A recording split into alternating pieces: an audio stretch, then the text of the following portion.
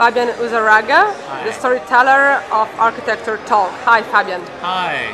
So, since you wrote for us for the Workstyle magazine an article about architecture, what do you think about this talk?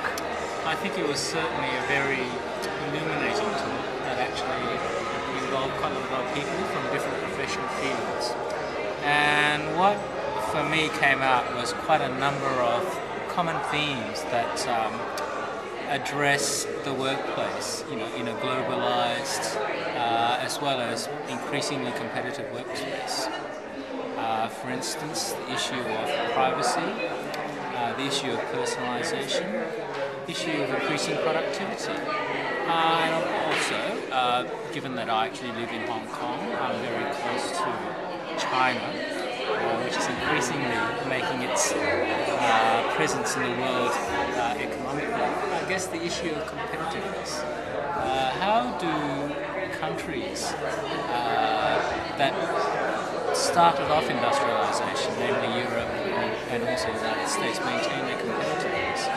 Uh, when you've got um, the rest of the world now adopting a lot of the techniques of productivity, of, of specialization, of mass production that were pioneered by Europeans. So, what did you like most of the talk? Uh, what I liked was the way in which people were very open, and also the way in which people shared uh, a lot of their experiences.